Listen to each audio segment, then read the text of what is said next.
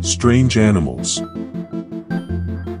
There are some animals that you see and you just think to yourself, wow, what a strange, what a unique creature. Here are our top picks for strange and unique animals that roam planet Earth. The wombat is known for its cube-shaped scat and burrowing habits that provide it protection from predators. The blobfish. It's said to be the ugliest creature ever. Gelatinous, it jiggles and looks like it has no skin at all. The moose stands out with its massive size, impressive antlers, in males, and its adaptability to cold environments.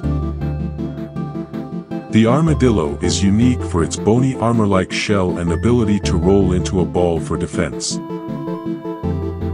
The platypus is a fascinating monotreme, laying eggs and having a duckbill, webbed feet, and electroreceptors to detect prey underwater. The numbat stands apart with its termite-based diet and striking appearance, characterized by reddish-brown fur with white stripes. The anteater's elongated snout and tongue are adapted for its specialized diet of consuming ants and termites. The pangolin's distinctive keratin scales act as armor, and it's the only mammal with this feature, making it the world's most trafficked mammal. The bird of paradise mesmerizes with its vibrant colors and elaborate courtship dances, showcasing remarkable displays of evolutionary adaptation.